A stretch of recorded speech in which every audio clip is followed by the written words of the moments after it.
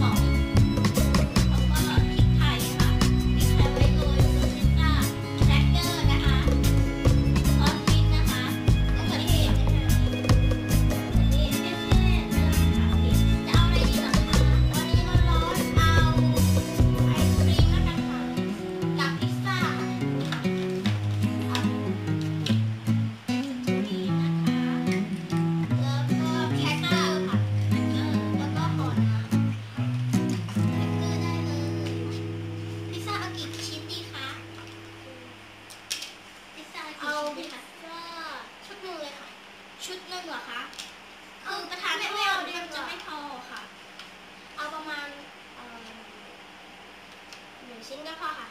ชิ้นแล้วก็ของช็อกโกแลตด้วยค่ะหนึ่งอันใช่ไหมคะ ค่ะ โอเคอันหนึ่ะคะ